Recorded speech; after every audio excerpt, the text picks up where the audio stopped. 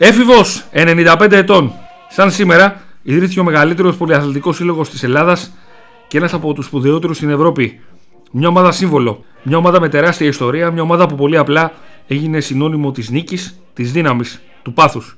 Όπως προστάζει το κόκκινο του χρωματό της μαζί με το άσπρο. Μια ομάδα της οποίας οι ποδοσφαιριστές έγραψαν θριάμβους σαν παραμύθια σε Ελλάδα και Ευρώπη και την χρονική περίοδο που διανύουμε είναι στην καλύτερη φάση της ιστορίας της όντας κοντά στο 45ο πρωτάθλημα εντός των διχών αλλά έχοντας και δύο σπουδαία παιχνίδια στους 16 του Europa League αντιμετωπίζοντας τη Wolves τελευταίο ευρωπαϊκό θύμα της ομάδας του Πέντρο Μαρτίνς η Arsenal. Κάθε χρόνος ύπαρξης της μεγάλης μας αγάπης μας υπενθυμίζει την υποχρέωση που έχουμε ο καθένας από το πόστο του να κρατάμε ψηλά τη σημαία του Ολυμπιακού. Ο Ολυμπιακός δεν ήταν ποτέ μια απλή ομάδα σε οποιοδήποτε σπορ. Ο Ολυμπιακός ήταν, είναι και θα είναι ένας σύλλογος, ένας ζωντανός οργανισμός που θα στέκεται αλληλέγγυο στον τόπο μας και στο πλευρό αυτών που έχουν ανάγκη, τιμώντας τις ιστορικές του καταβολές και κάνοντας τους υποστηρικτές του αλλά και όλους τους Έλληνες περήφανους για την παρουσία του εντός και εκτός γηπέδων.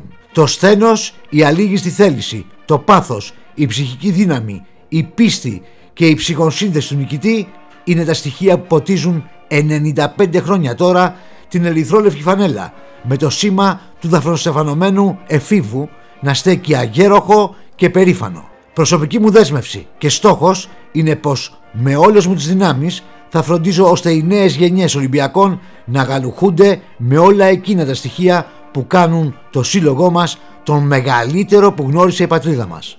Για τη μεγάλη μας αγάπη, για την ερυθρόλευκη φανέλα που μας παθιάζει, για τον έφηβο στο στήθος και στις καρδιές μας, χρόνια πολλά θρύλε. Ζήτω ο Ολυμπιακός. Όπως αναφέραμε όμως, ο Ολυμπιακός δεν είναι μόνο το ποδόσφαιρο. Ο ερασιτέχνης σε όλα τα σπορ έχει καταφέρει να σηκώσει παρέα με τους πολυάριθμους τίτλους εντός των τυχών και 15 ευρωπαϊκές κούπες σε μπάσκετ, πόλο ανδρών και γυναικών, βόλεϊ ανδρών και γυναικών με συνολική παρουσία σε 59 έως την ημιτελική ή γύρω διεθνών διασυλλογικών διοργανώσεων. ομάδα, ομαδάρα μου, μεγάλη μου αγάπη, Ολυμπιακάρα μου, Ολυμπικ, Ολυμπικ, Ολυμπιακέ, ομάδα, ομαδάρα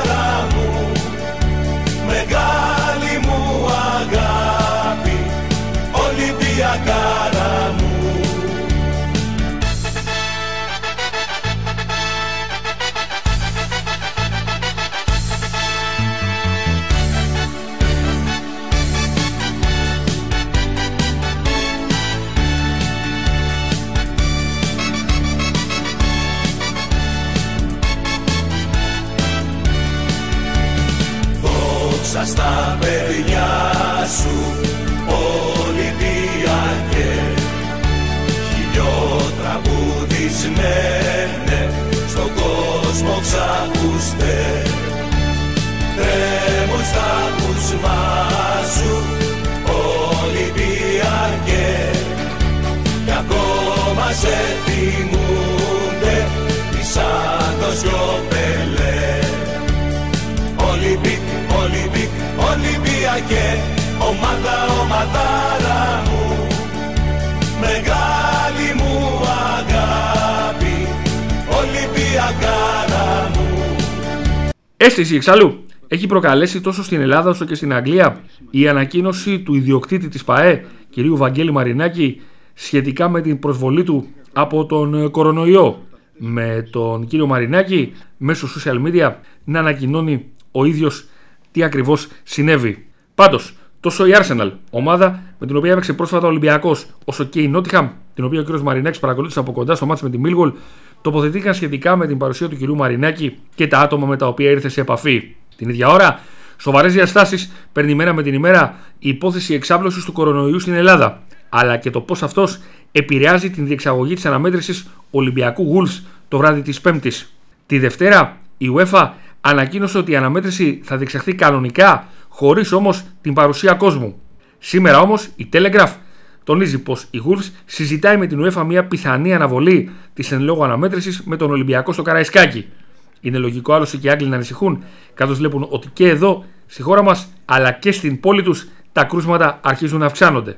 Μάλιστα, ένας από τους ανθρώπους στην Αγγλία και συγκεκριμένα στην πόλη Wolverhampton, την οποία εδρεύει αντίπαλος του Ολυμπιακού, είχε χτυπηθεί από τον κορονοϊό, πέθανε σε ηλικία 70 ετών.